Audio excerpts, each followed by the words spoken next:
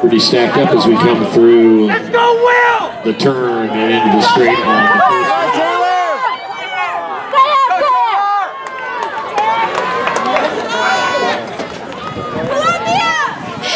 Edwards. Of Mission Bay and Taylor Howard of Point Loma. Right there in the lead.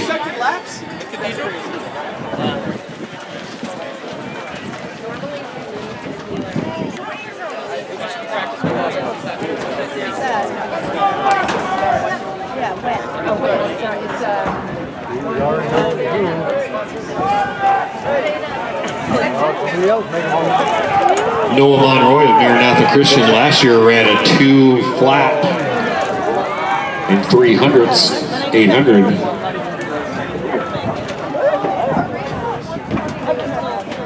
With a strong finish, they could challenge this. Come on, Taylor! Let's go, Taylor! Let's go, Taylor! Let's go, Taylor! Let's go, Taylor! Let's go, Taylor!